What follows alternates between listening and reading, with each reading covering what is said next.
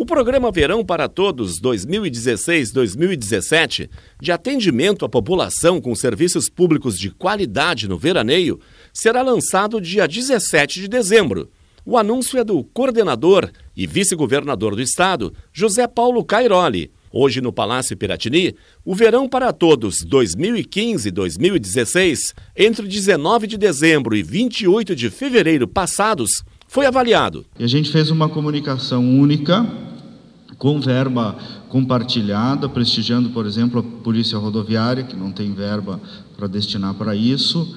Uh, e que deu muito mais resultado, isso que se chama de comunicação integrada. A administração direta não investiu um real em publicidade.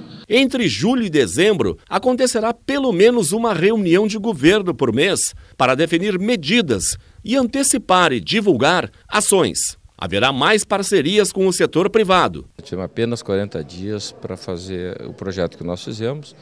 Ele foi vitorioso porque houve a participação e a presença de todas as entidades e secretarias envolvidas. Então o resultado foi muito positivo. O governador José Ivo Sartori gostou do balanço, mas lançou um novo desafio: fazer muito mais com menos. Foi feito um verão para todos, com atividades para a população, segurança, orientação, ações educativas.